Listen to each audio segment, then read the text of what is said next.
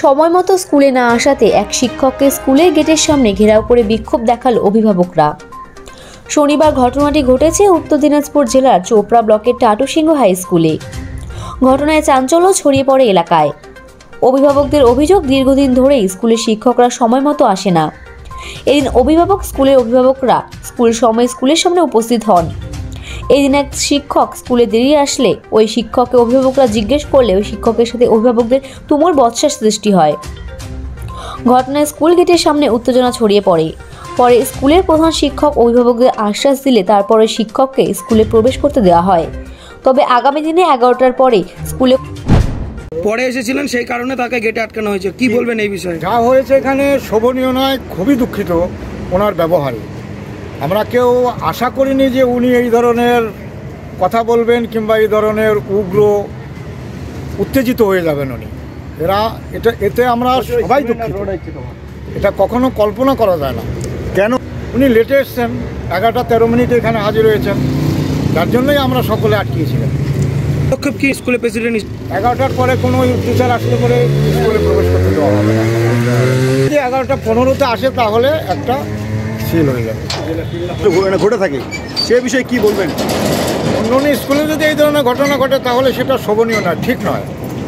প্রতিটা স্কুলে টিচারদের দায়িত্ব থাকা দরকার। তারা যদি এগারোটার পরে আসে তাহলে স্টুডেন্টরা কী? একটা টিচার যদি এগারোটার পরে স্কুলে আসেন তাহলে স্টুডেন্টরা তাদের থেকে কী ব্যবহার আশা করে? কী শিক্ষা পাবেন? আপনার পরিচয়? আমার নাম নৃপেন মণ্ডল। কি দায়িত্ব রয়েছেন এই স্কুলে? আমি টাটো সিং হাই স্কুলের প্রেসিডেন্ট।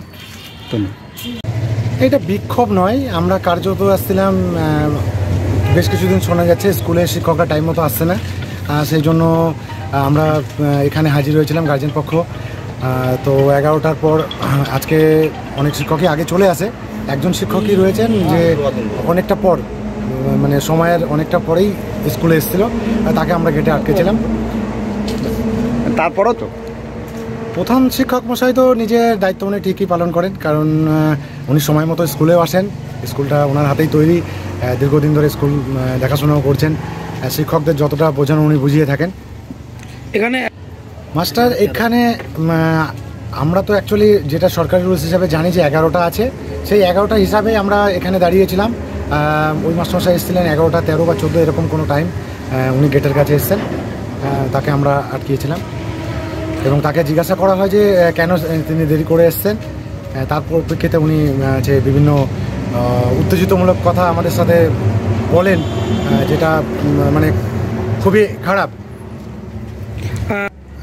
উনি অ্যাকচুয়ালি স্কুলের একজন সহকারী শিক্ষক মশাই পদের ব্যাপারটা জানি না।